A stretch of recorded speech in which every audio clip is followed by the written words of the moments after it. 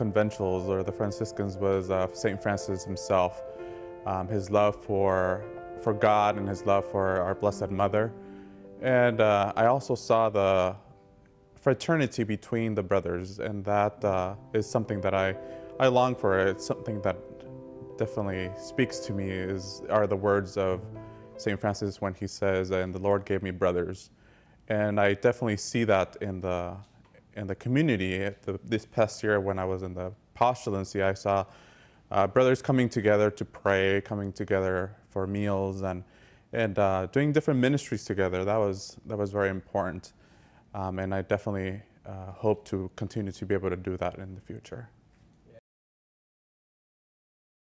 It was our uh, investiture for me and uh, three other brothers, and that was wonderful to see all the brothers and community come together for that. And uh, as Father James was saying in his homily, this is uh, a yoke that we carry together, uh, knowing that uh, I count on the community for, for prayers and, and their support as I continue this new stage of formation in the novitiate.